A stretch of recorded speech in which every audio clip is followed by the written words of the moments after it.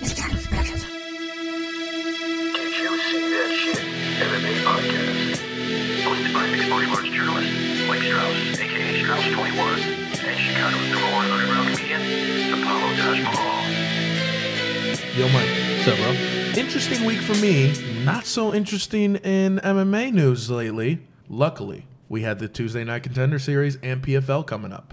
We do. And on this episode, we're going to talk the Contender Series Week 1, the highlights from last week. We'll touch on Week 2 of the Contender Series. Of course, PFL is in town in Chicago for their second event ever. Looking forward to that. We'll talk about it. And we have four big interviews on this show as well. Well, welcome back, friend of the show, Terrion Flash Ware. For the very first time, Nasty Nate Jennerman.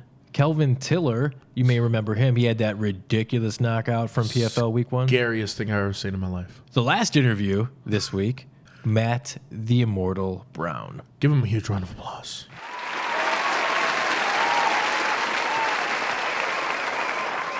But first, if you guys didn't know, you are listening to the Did You See That Shit Mixed Martial Arts podcast. I am Mike Strauss, aka Strauss21. That is Apollo Taj Mahal. The number one underground comic, so underground you don't even know who I am. We appreciate all the love and support, guys. Keep it all coming. Whatever platform you're listening to us on, well, just keep on doing it. Like us, love us, retweet us, do all those things, guys, in that order, and your life will probably be a whole lot better. If you want to get more intimate, give us a call, 708 669 4777, or shoot me an email, mike at didyousee.that shit.com. Don't forget our YouTube channel, Missing Time Productions, where all of our content goes. Right, Apollo? Oh, yeah, I think I'm going to try to get a show on there with me and Robin Black watching the Animal Planet. Could give the one minute breakdown. Oh, yeah. Quick shout out to Fight Fit Lifestyle. It's more than just a fight company, guys. They have clothing and apparel for whatever you identify with man, woman, child, non binary, whatever the case may be. It's also run by a professional fighter, Chad Ocho Peterson, so you know it's run by a smart dude, and the money goes to a good cause. So it's all worth it, guys. Fight Fit Lifestyle. Check them out, fightfitlifestyle.com. All right.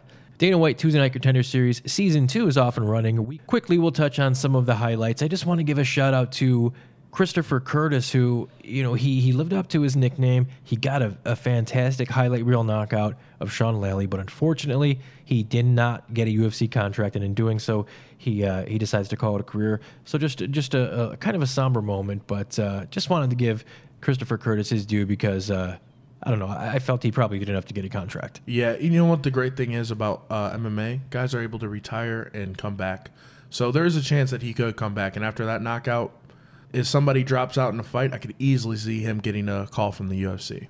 Also on the Contender Series Week 1, Alonzo Menifield only needed 8 seconds to finish Dashawn Boatwright. He earns himself a UFC contract. And making the most noise out of Week 1, as we figured it would, Greg Hardy earns a developmental deal with UFC. Only needed 57 seconds to KO Austin Lane. It was a uh, pretty violent KO too, man. Yeah, uh, quick question. I'm very confused on these developmental deals. Like, uh, Dana White kind of explained them, but w- what's the whole entail of them?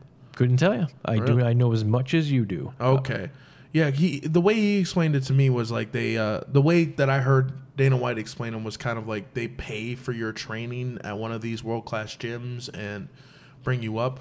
Uh, I kind of like it, but I, I would definitely like to know more. Somebody uh, on Twitter definitely let me know more about uh, these developmental deals. essentially, you know, wh- what they are is is what you, what you said. I mean, the, the UFC allocates a certain amount of money, uh, whether you want to break it down per month, per year, for you to train and, and have the best services out there, so you can treat it as a job. You so you don't have to do what Max Griffin did for all these years, and Yeah. you know, have a job to pay your bills, but also find time to train. You know, so so now Hardy can spend all of his time focusing on fighting and doesn't have to worry about paying his bills and this and that. So that it allows you to become a professional fighter. So a football player that made millions and millions of dollars is able now to pay his bill. I'm sorry, guys. I, I'm just that that's way too funny to me. Well, that is another way of looking at it. yeah. Uh, if anybody deserves it, I don't feel he is the one person who deserves a developmental deal.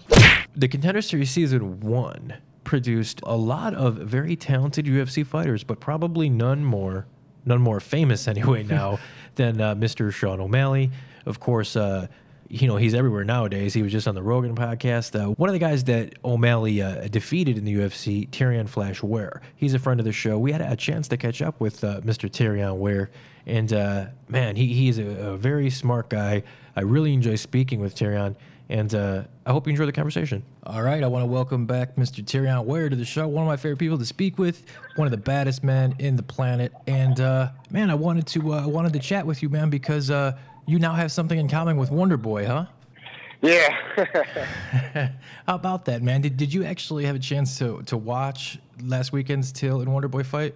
Yeah, I watched it, and then um, you know, and I watched it again. I watched it twice because I don't know, like at first, like when I watched the first time, I was like, maybe I'm just being a little biased. I'm still a little upset about what happened to me, mm-hmm. and and I watched it again, and it was a little closer than I originally thought, but I still thought he, I thought it was clear that he won, and um, there's a lot of people that felt the same way, and it's just there seems to be an issue, you know, eh, not just over there, but in the sport in general. But lately, it just seems like it's you know a lot of the the guys from the UK when they fight over there, they're getting they're getting the favoritism, and I don't think it's I don't think it's right. It's something has to be corrected.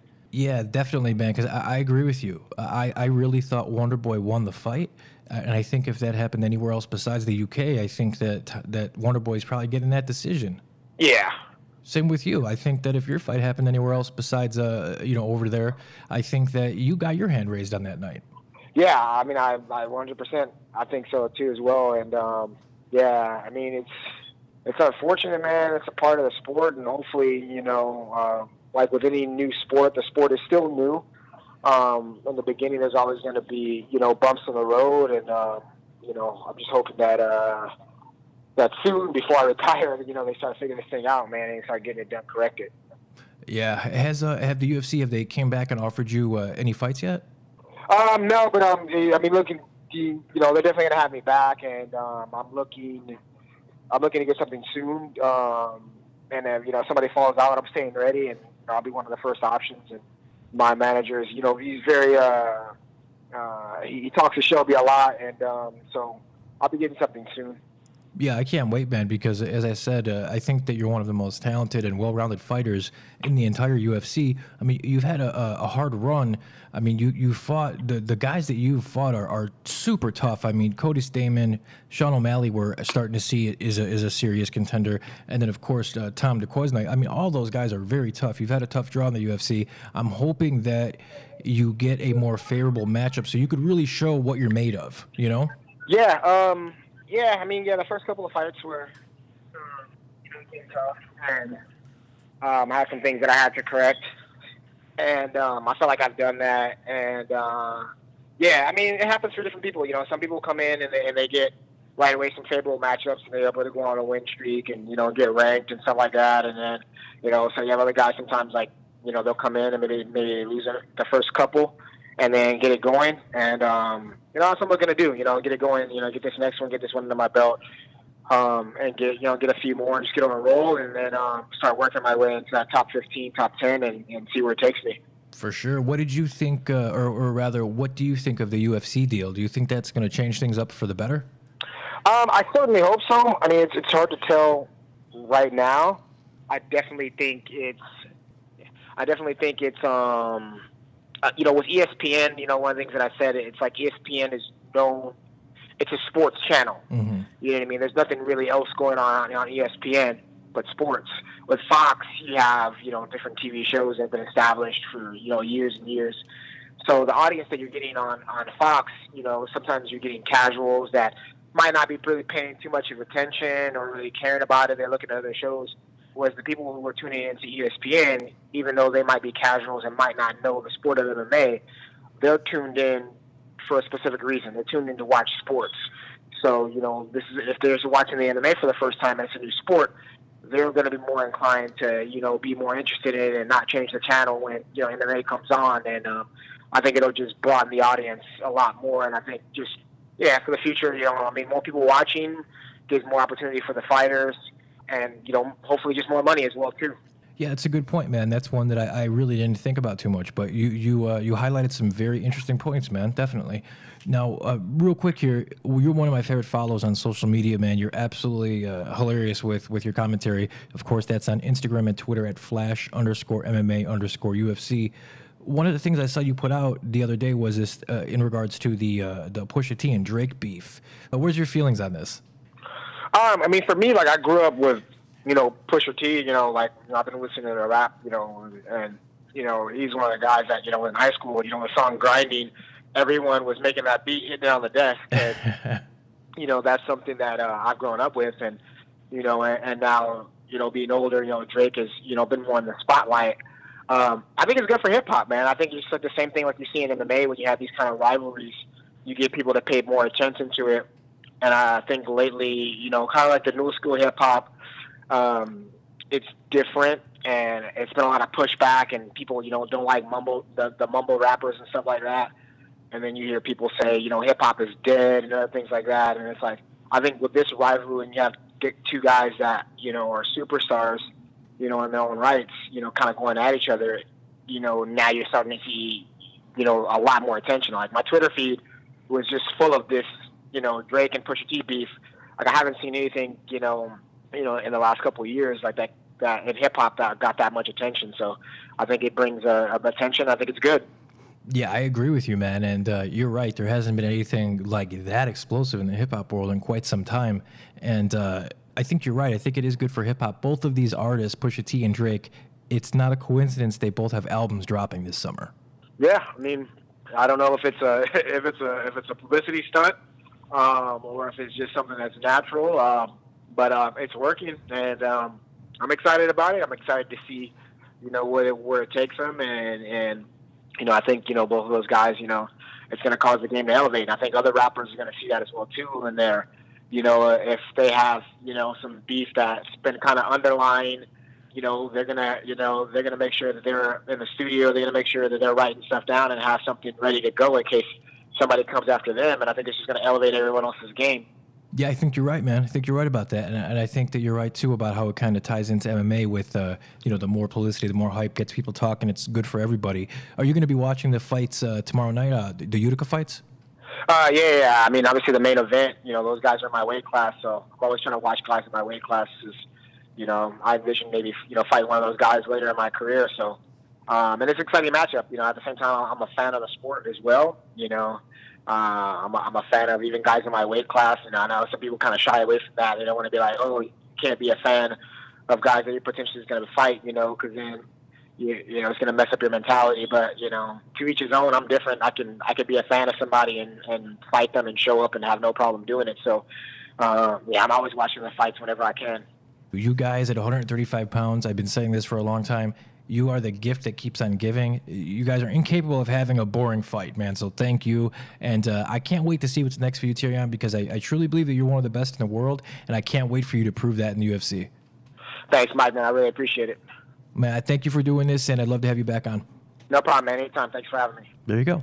I'm excited to see him fight again. Me too. He's had a rough go, man. You know, Cody Stamann, Tom Duquesnoy, and uh, Sean O'Malley. I mean, those are three tough dudes, man. The three guys that people are talking about possibly being the top of that division. Mm-hmm. So for him, and he didn't fight poorly And- against. no the Duquesnoy fight. He, he won, He- but he he, won. got a bullshit decision. So Yeah. it is what it is.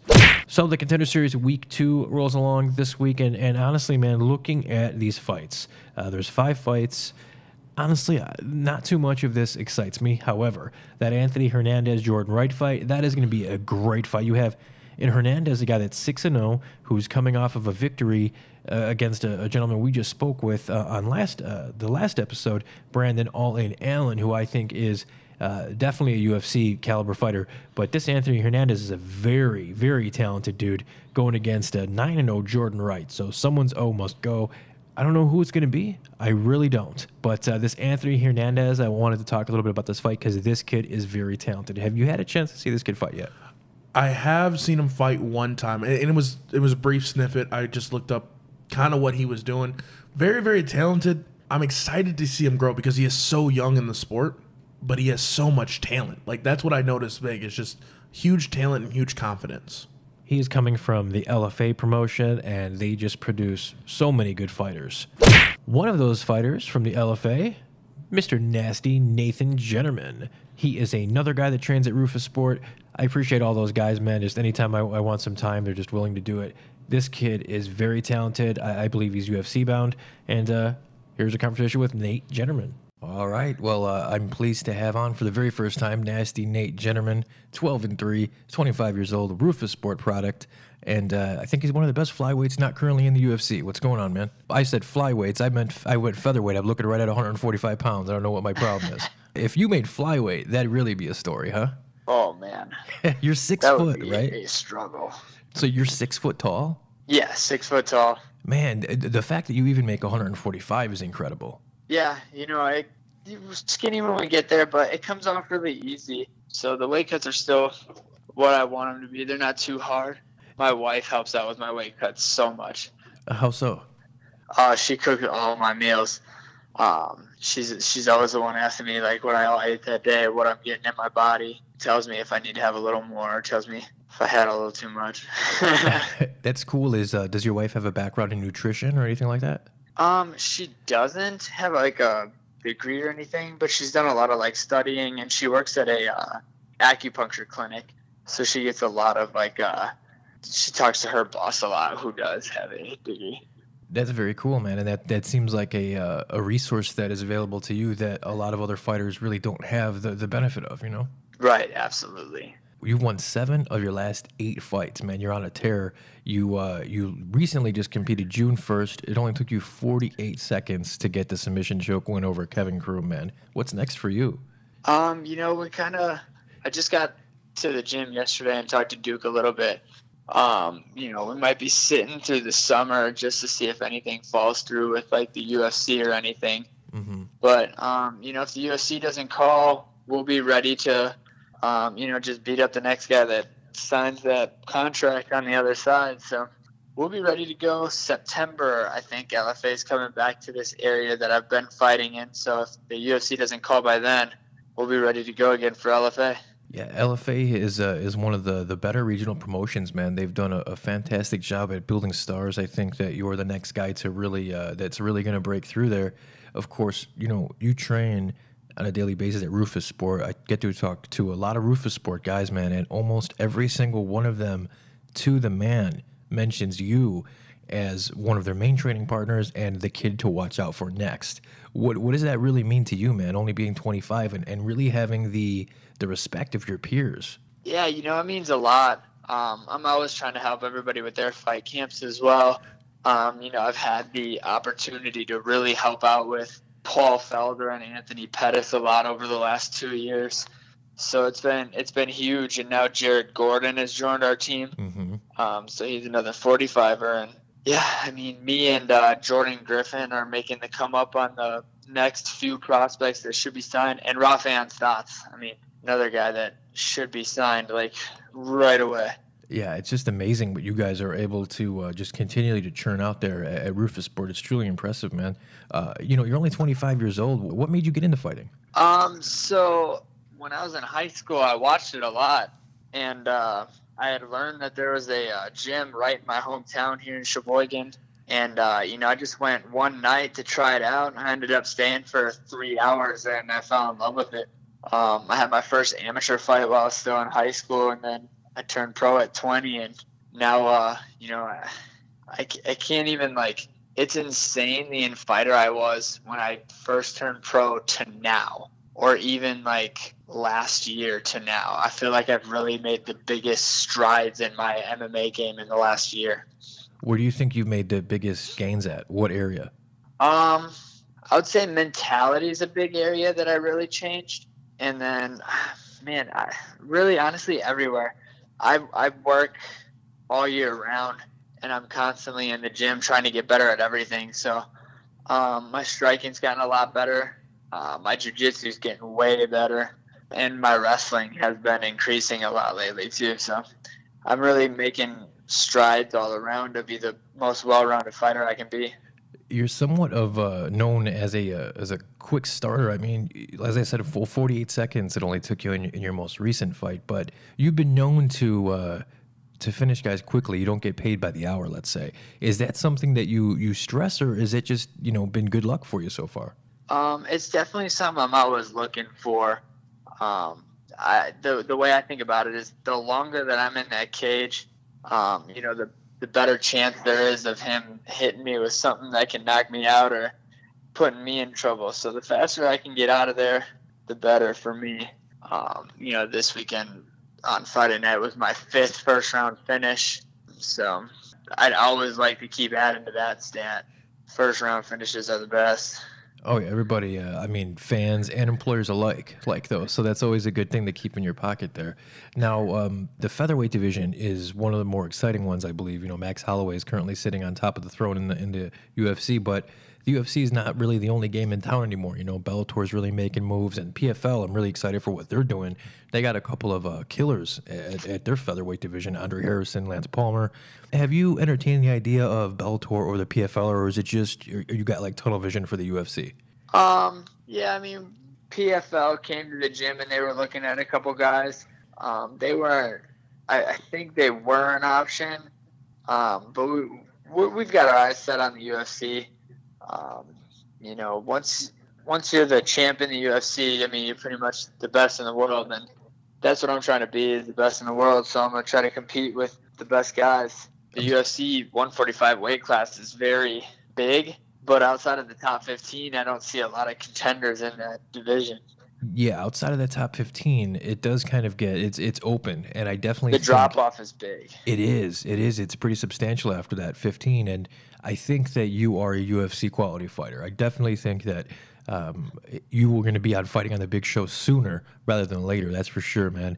I mean, you got everything. You know, you you have the the ability. You're improving. You train at one of the best camps, and uh, you're an exciting fighter, man. So I can't wait to, to see what's next for you. Whether it be another LFA fight or whether it is you know a last minute fight uh, on the UFC. That's what we've seen lately with uh, with highly touted prospects. We've seen the UFC offer them these last minute fights. Was that something that you'd be opposed to, or, or do you want a full camp on your debut? Oh, I'm totally cool taking a short notice fight if that's what it falls down to. Um, I've always been one to um, stay ready so you don't have to get ready. Mm-hmm. Um, I've always, um, like I said, I'm always in the gym, so I just had five fights in the last 13 months, so I'm always ready to go. Five fights in 13 months, and you're looking for more. Yes, sir. to be 25 again, man. Well, Nate, I, I, truly believe that you're one of the best uh, 145ers that isn't uh, fighting on the big show right now, man. And I can't wait to see what's next for you. The floor is yours, man. If you'd like to shout out your sponsors, anything you'd like, brother. All right. Thank you very much. I appreciate that. Yeah, you know, first I want to thank God. Um, you know, just always putting all these blessings in my life. Um, you know, with the people that I train with, the people around me. You know, it's all a blessing other than that, you know, just gotta always thank uh, Combat Corner for helping me or cooking me up with the best gear. Raw Dog here in Sheboygan, they're always showing a lot of support. Champ Sports Bar in Sheboygan, Weiss Brothers, Three Sheeps, Greasy Spoon, all uh, Sheboygan area. Um, you know, I like to support local, and they've been supporting me. Advanced Spine Care and Wellness, Pure Body Balance, Healthy Living Acupuncture I've got a really good medical team behind me, helping me through any little injuries that I get. Uh, grip mouth guards, keeping my uh, teeth in my mouth where I like it. SEG, my management company. Um, you know, obviously, shout out to Roufusport, all the guys down there. They've been a huge help with everything. Um, the coaches holding down for all my teammates. 1740 beard bump, keeping my beard on point, and you know, as as I said before, my wife she helped me out with everything. So without her, this stuff isn't even possible. I hear you, man. We all need a good woman behind us. That's for sure, man. Absolutely. Well, nasty Nate, Jennerman, I, I truly believe that you're one of the best, man, and we're going to be seeing you on the big show uh, very soon, man. 12 and 3. And if it is LFA next, I know that you're going to uh, continue to knock them down there too, brother. All right. Thanks, man. I appreciate it. Take care, man. I look forward to speaking with you uh, in the future. All right. Talk to you later. There you go. You know what I love about this show and I love about these interviews hmm. is guys like him who I don't really know much about. You get a chance to speak with them. I get to hear what they're saying, and I sometimes get a chance to speak with them. And now I'm excited to see guys like him fight uh, and watch their career. So, Paulo, there's no MMA hour this week. It's the first time in, I think, like nine years that there's been no MMA hour on Monday, uh, you know, Monday or Tuesday, depending on holidays. But we don't have it at all this week. It kind of feels a little bit, uh, I don't know, there's like a void in my heart. Pour some out for the homie, and then now let's take advantage. Listen, there's no MMA hour out there anymore. It's just us. Well, in a couple weeks, there's going to be a new uh, new go around. Uh, they're, They're- working on it. They're on ESPN. We don't care about them. ESPN Plus. They're on ESPN Plus. No one has that right now. I do. It's it's kind of like title. Uh, we listen to Spotify. Listen, guys, if you are sad because there is no MMA hour, guess what? Did, did you see that shit, boys? Gotcha. Come here every day, any day. We don't care. We got all our podcasts up, all our interviews up. You can listen to us all the time. We're going to be doing live streams a lot more. Things are going to be popping. And if you are just sad that Ariel Helwani isn't here, I got a guy with a big nose here who's going to take it, take his place. He's talking about me. yep, I'm talking about my boy Mike Strauss. So guess what? I am sad too. The MMA hour is gone, but hey, I'm an opportunist. I see there's a hole. I'm willing to fill it. PFL 2 is this week. I'm stoked. It's in Chicago, and there's really good fights, man. Let's quickly talk about the card. I don't want to. There's 13 fights, so we're not going to talk about all of them. Just a couple here that really, uh, really pique my interest. There's only one fight that actually piques my interest. That is the main event, I believe. Well, Yeah. technically, there's no main event, but just- the the last bout of the night, I think you're talking about the Yeah. Luis Firmino and Will Brooks fight. This is very interesting for me because, in my opinion, I thought Will Brooks was done. I still think he is. After his UFC, yeah, he Yeah. didn't look good in the UFC. No, he didn't, and I don't know what it was because this is a guy who beat Michael Chandler Michael Chandler twice. Michael looked great in Bellator. Yeah, he looked like a world beater, and now he goes to the UFC and looks like the world's beating him. So I want to see what he does in PFL because his weight, in the lightweight division, is no joke. You have some serious, serious fighters there. Who do you like, Luis Firmino or Will Brooks, though? I'm gonna go with, I'm gonna go with Luis Firmino. Um, I, I don't know if Will Brooks still has it, man. you know, uh, I've I've always liked Will Brooks. Can't say the same about him for whatever reason. He doesn't like me. He's one of two fighters that has blocked me on Twitter. No one blocks me yet, and I talk mad stuff. Uh, well, here's the thing. I don't. T- I'm not disrespectful to any fighter ever, but I know. somehow Rampage Jackson blocked me, and uh, Will Brooks. I don't get it, but I'm hoping after being able to speak with Will Brooks this week, uh, uh, face to face, I'm hoping I get him to unblock me because I don't understand why he blocked me. So We'll smooth it over. if it's something I did, you know, I'll, I'll man up to it. But uh, you know, all personal feelings aside, man. I mean, I don't disrespect the guy. I don't hate the guy. I actually think he's going to win the fight. I think he's going to do it pretty convincingly. I don't think he's done. I just think, uh, you know, some guys, it's hard to, you know, as in life in any profession, it's hard to go from being the best at something to being the worst at something. Do you remember when you were in eighth grade, you're on top of the world, and then you go into high school and you're a freshman again? I was the captain of the football team. Well, you're you're the you're definitely not the norm. And then you work your way through high school and you become the shit, you know, and you're a senior. And then you go to college again and you're a freshman. And then you got to, it's just so, you know, as in life, it, it's just a cycle. And I think that when he got to the UFC, it might have just been too much. But I think that uh, Will Brooks has not done. And I think that he will win. Also on the PFL 2 card this week, Chris Wade, former UFC fighter, going against Nathan Schulte. That's going to be a very fun fight. I'm going to go Chris Wade. I'm going Chris Wade too. He's the only one that I'm actually familiar with. No offense. It's just I've seen him fight before. Kayla Harrison making her professional mixed martial arts debut against Brittany Elkin. Now, there is no tournament for the women this year. This is just a one off match. Kayla Harrison, I think she is the star that PFL needs. I, I think she is going to be phenomenal. I'm going to pick her to win this fight. I only know her by name. That's really it. I've not seen her fight yet. But this is what's great about the PFL. Well, no one's seen her fight yet. Yeah. Oh, this is her first fight? First professional fight, yes. Oh, I'm very excited now. She is a two time Olympic judokan. She won the gold medal twice. She is a two time Pan American champion, and she won Worlds in 2010. She was the training Oh. partner of Ronda Rousey. Well, I hope she didn't get Ronda Rousey striking. Uh, She standing next to Ronda. She makes Ronda look like a nine year old girl. for real? She's yoked. Oh, I am ex- She is the only woman that could, I think, beat Cris Cyborg. really. We'll see how her striking is, but she can out grapple her. Okay, so by you saying that, I have very high hopes. I'm going Look to at her. watch. Look at some. Go check out some of her wrestling after the show. I'm definitely going to do that. You know Or, how you big know, of a, her. ju- You know what I mean. Her. her competing. you know how big of a fan I am of grappling. Mm-hmm. Also on the card, Brian Foster, Ramsey Nijem. That should be a fun fight. I'm really excited for Smealinho Rama. He is a former heavyweight fighter down to light heavyweight now. I've been a fan of this guy for a long time, man. Back when he was undefeated, he's now at 10 and 3. He's going against a Bellator vet here in Brendan Halsey. This is going to be a slugfest, a barn burner. I mean, mark my words, that fight is going to be just balls to the wall chaos. Well, the craziest thing about that fight is that you're bringing a heavyweight down, Mm-hmm. and if he can carry that power, it's gonna be it's gonna be chaos. Vinny Magalhães, you probably know from the jiu-jitsu world. He is a world beater, to, use your word, going against Jamie Abdallah. That should be interesting. And then uh, the the first fight of the night, I find very interesting, man, because two very talented guys are kicking off this night. Former UFC fighter and Ultimate Fighter winner Efrain Escudero going against Jason High. I mean, this is the first fight of the night. This is going to be a good card.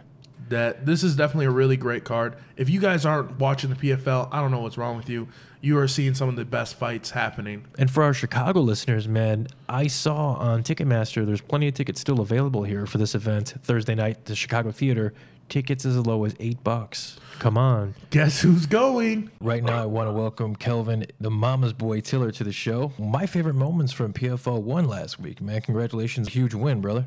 Thank you very, very much, man. It was a it was a blessing being there. Thank you. That knockout came from nowhere. I mean, literally, you were on the you were on the ground. The referee stood you up, and uh, I looked away for a moment. And the next thing I knew, you were uh, looking over Alencar. And when they played the replay, Jesus, man! I mean, Kelvin, that's power, brother.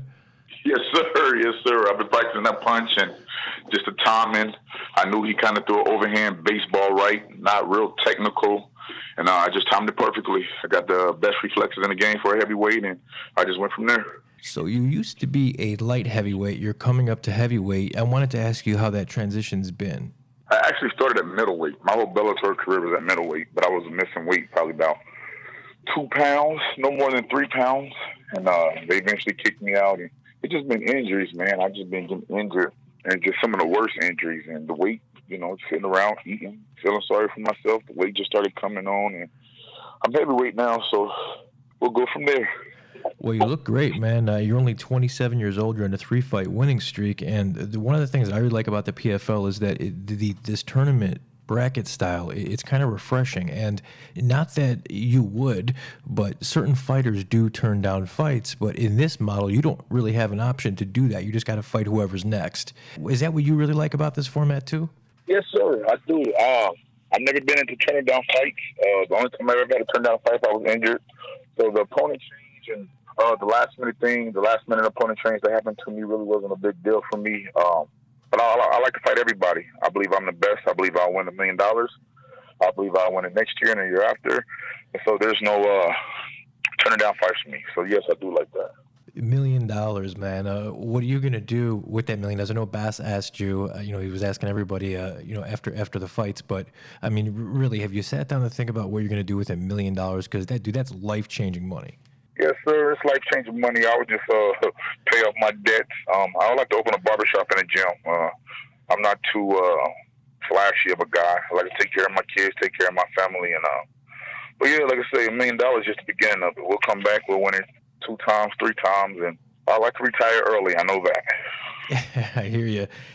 So there was a lot about the, the last minute, uh, the the change of opponents, the heavyweights. There was a, a big shuffling of that because the the commission there in New York. I know you didn't say that really didn't affect you too much at all, but was it was it just a lot of unusual chaos that you're not really used to the day before? I mean, how was all that? Uh, man, actually, my amateur career that was pretty much how we fought amateur. We we a guy uh, he'll uh, back out of the fight in you know thirty minutes, an hour, two hours before the fight, and we just we'll get in there and we'll still do what we got to do. So that's never been a problem to me. I've been, I've been conditioned that way for a long time. I never wrestled, uh, so I don't I don't I know wrestlers they don't um, know who they're fighting uh, until the day of, but that that wasn't me. So, but it's just a mentality. I think I can beat everybody. So it really wasn't a big uh, a big uh, issue to me. Yeah, that's uh, just how things were done back then. So you mentioned it a little bit earlier, man. You're a Bellator vet. You're you're actually a Shamrock FC vet too. I'm uh, being in the Midwest. I'm very familiar with Shamrock. I wanted to ask you, uh, how did you enjoy your time fighting uh, for Shamrock? Uh, man, Jesse Finney, he was, he was one of the guys that believed in me big time. So I'll always have love for Jesse Finney. Um, he just had issues finding me fights around here. Everybody say I'm UFC caliber and a lot of guys will like overprice themselves so to make it seem like they wasn't turning down fights, and they made it seem like Jesse Finney didn't want to pay enough. We all know that the local shows are a budget, and and so uh, I mean he was just a real good guy to me. He always took good care of me. Um, he just can give me the fights that I needed to get to the big show, but. Uh, I have a number of good things to say about him and the organization.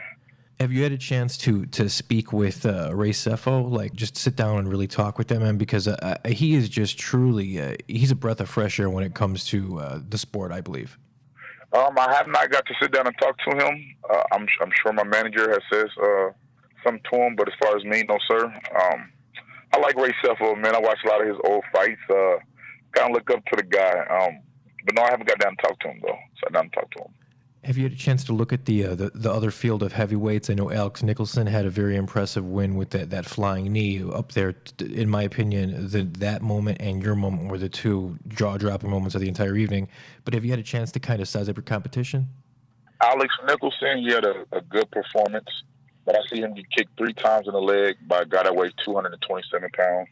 And if you get kicked by me, you won't you won't be walking. If you get kicked more than two or three times, so Alex Nicholson is not a um, I don't think he is uh, my, my my big issue. I don't think I have real competition in a in, in the tournament. Like skill wise, anything's possible. Anybody can get knocked out. I understand that, but I didn't see nobody outstanding that has really got me shook in my shoes. So uh, really, no, I haven't seen nobody fight besides what I've seen at the shows. But I, I, I believe I'll win it. I know I'll win it. Uh, I'm, I'm very confident in that.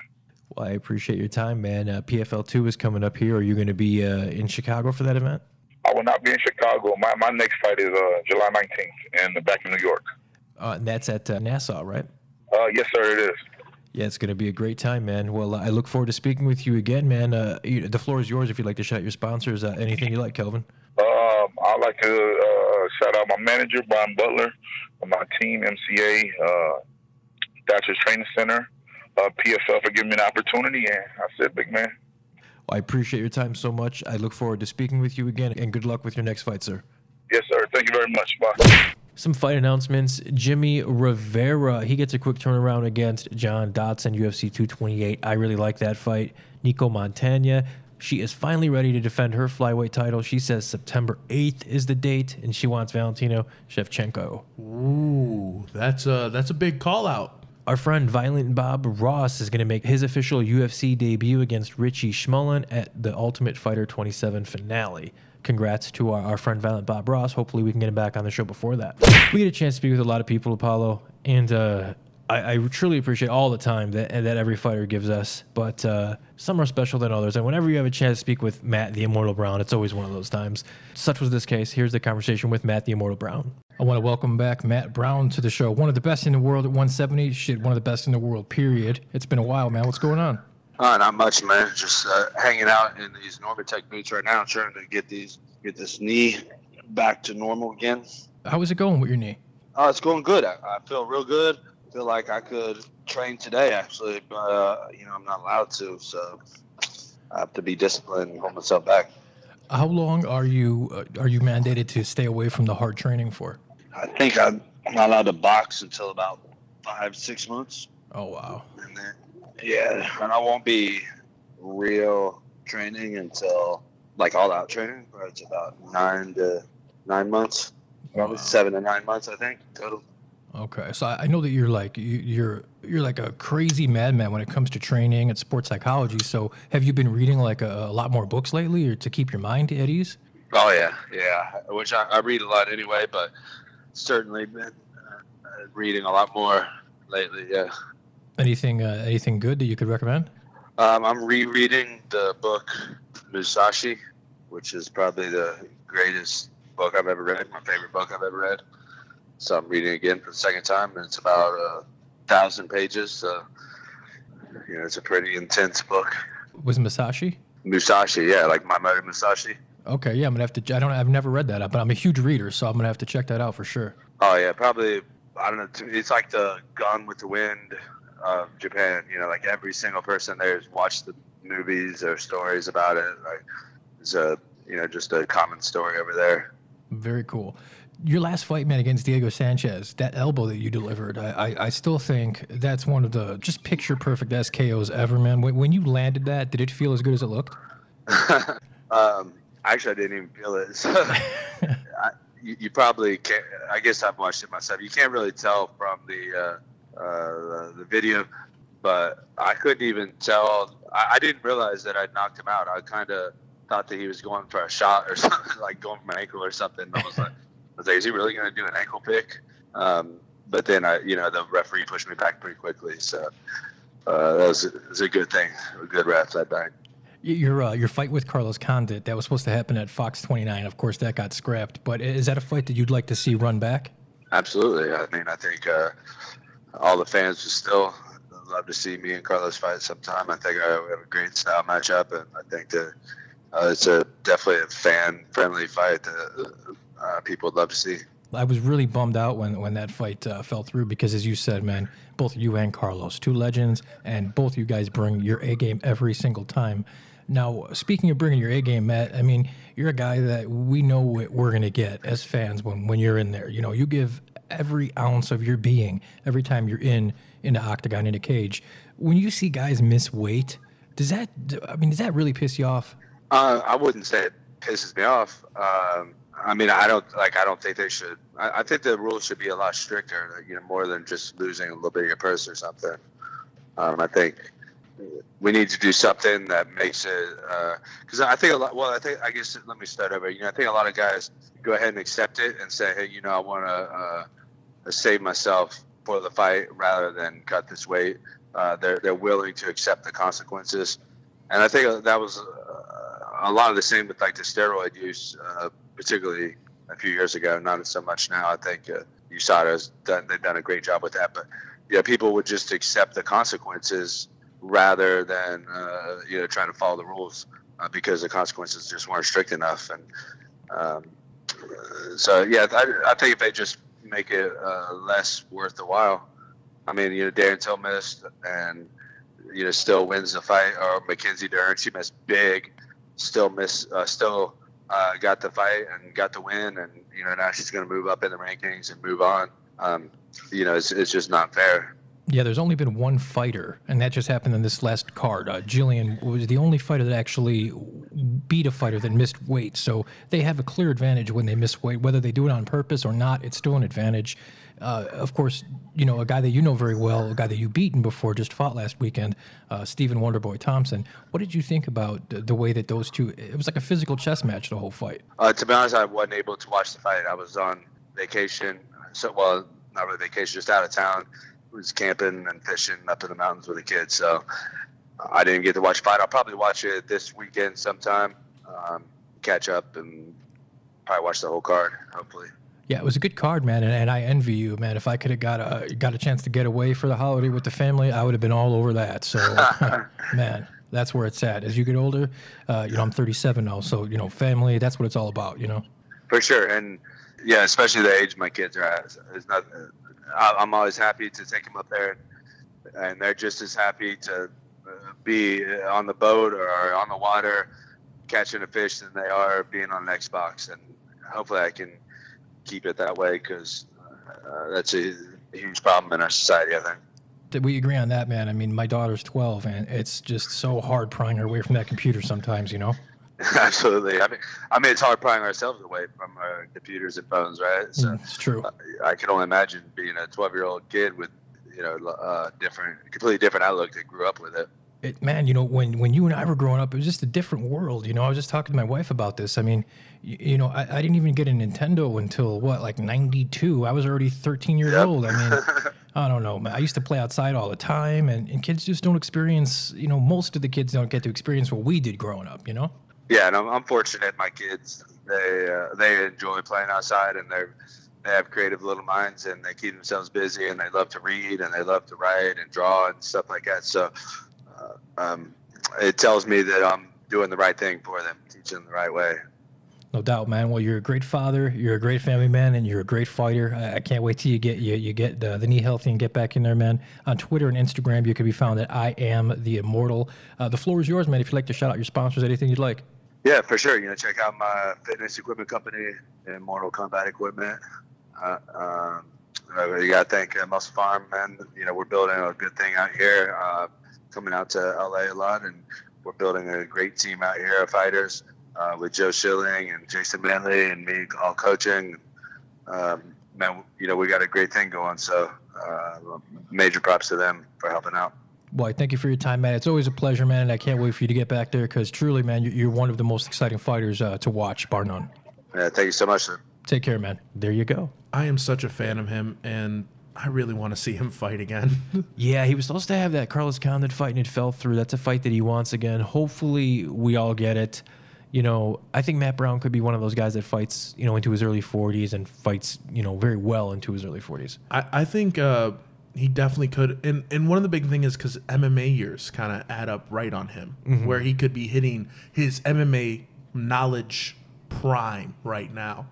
And the fact that he's coaching as well really has you can see elevated his skill for sure. Does a walrus or a rhinoceros have a bigger wiener? How do we get on this?